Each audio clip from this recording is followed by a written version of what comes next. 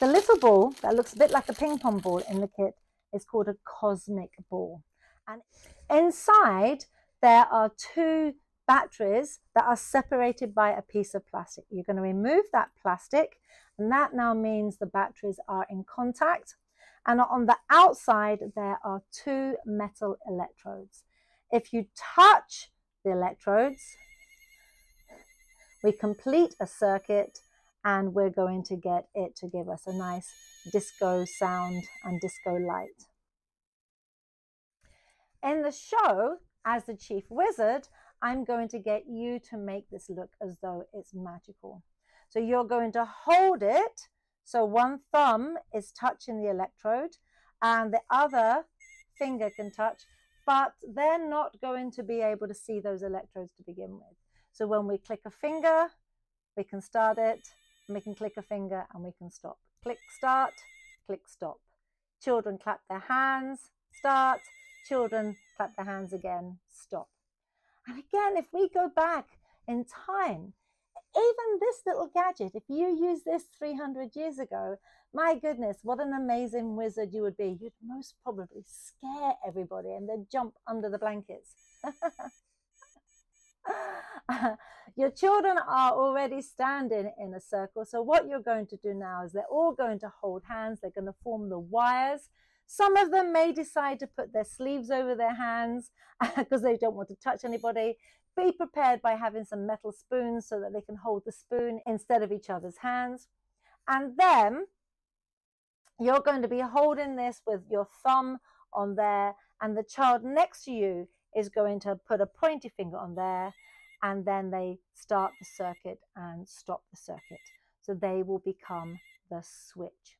It's a nice, safe little way for us to talk about electricity and electrical circuits.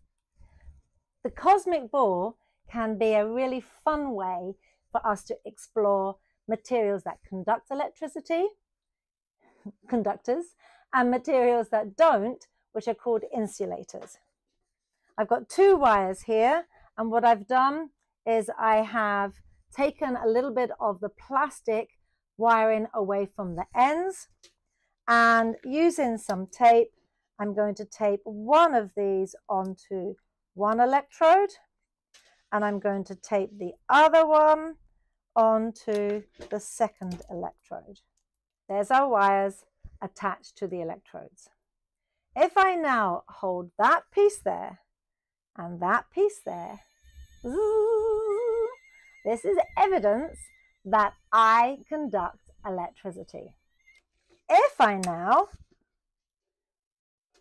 attach the wire to some plastic,